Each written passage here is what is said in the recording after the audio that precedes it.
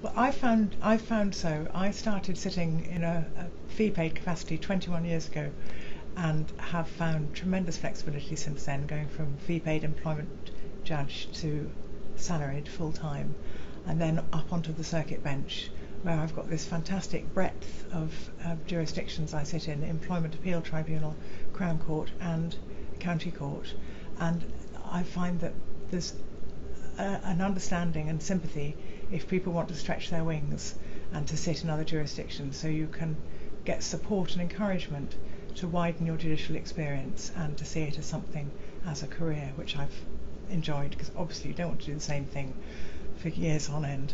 In respect of the job itself, although I am supposed to be 100% crime, there is the possibility to do other things. I mean, you get advertisements or expressions for interest, as they're known, to sit in other jurisdictions from time to time. That could be civil, family, mental health, uh, also perhaps sitting in other tribunals, um, parole board.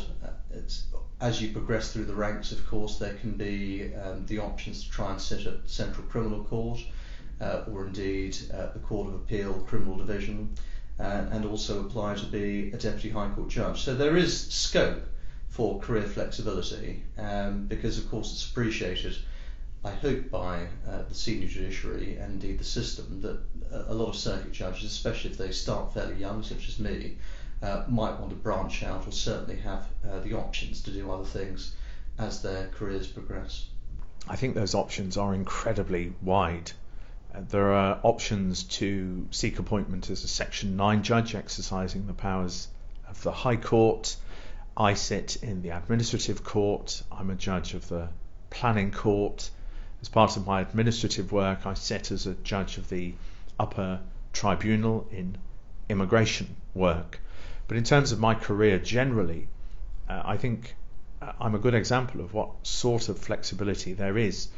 I started off as a, a circuit uh, judge sitting in Liverpool and Manchester. I then moved on to become a specialist circuit judge, so specialising in chancery and what is now circuit commercial work. And then earlier this year, I became the designated civil judge for Greater Manchester. Part of the flexibility that we have in the role is not only about the judging work that we do, but we have opportunities to be involved in all sorts of other things. So, for example, the uh, Rules Committee. I sit on the Insolvency uh, Rules Committee and I do a lot of work with the Civil Procedure Rules Committee. I'm also involved, and all judges have the opportunity to be involved in the reform process, which is incredibly uh, important uh, and very fulfilling.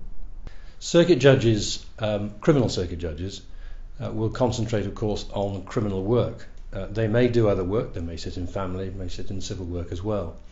Uh, but what is important to remember as a criminal circuit judge is that you can be ticketed and will be ticketed to do different areas of work, some more complicated and serious than others. Um, you would expect to be ticketed to do sex cases. A lot of the work involves uh, sexual offences. But also you can be ticketed to do more serious work, homicides, um, uh, terrorism, matters such as that. So there is real opportunity to progress even within your area of criminal expertise uh, similarly, of course, you could uh, develop in other areas should you do those.